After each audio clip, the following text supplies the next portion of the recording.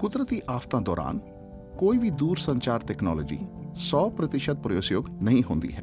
ਜੇਕਰ ਤੁਹਾਡੇ phone device ਜਾਂ ਇੰਟਰਨੈਟ ਉਪਲਬਧ ਨਾ ਹੋਣ, ਤਾਂ ਤੁਸੀਂ ਕਿਵੇਂ ਸੰਪਰਕ ਵਿੱਚ ਜੁੜੇ ਰਹੋਗੇ? ਐਮਰਜੈਂਸੀ ਵਿੱਚ ਸਿਰਫ ਆਪਣੇ ਫੋਨ ਤੇ ਨਿਰਭਰ ਨਾ ਕਰੋ।